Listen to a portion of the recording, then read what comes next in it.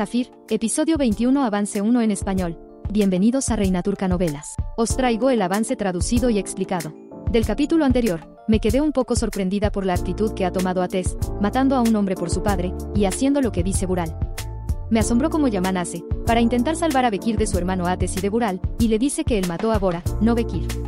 ¿Se lo creerá Ates? Y este avance 1 comienza con un encuentro entre Yaman y Ates, Ambos tienen caras de pocos amigos, y se ve como al irse Yaman, Ates le dice que el problema nunca fue Bora.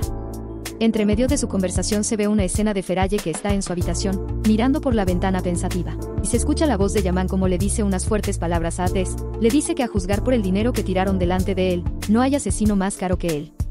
A continuación Ates está en otro lugar, se queda pensativo sentado, y después estando en un restaurante, le dice a alguien que hará que se arrepienta de todo lo que le ha dicho, supongo que refiriéndose a Yaman y sus palabras hirientes. La escena siguiente se trata de nuevo de la parejita Feraye y Yaman, se ve como Yaman le pone una flor a su amada Feraye en el pelo y ella sonríe como enamorada. A lo mejor es un recuerdo, porque la siguiente imagen es Feraye llorando, diciendo que mientras que ella lo ama tanto, ni siquiera pueden estar unidos. De repente sale Yaman en una habitación de la mansión, rompiendo todo con un batel de béisbol, y con mucha rabia gritando. Yaman decide ir a hablar con Gunes, para advertirle de algunas cosas de Ates.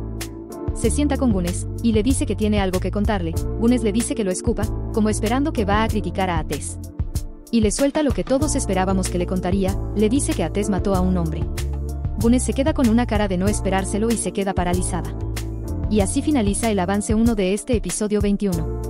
Lo que más me ha sorprendido es cómo Ates está cayendo en un pozo de oscuridad, del que no sé cómo va a salir bien.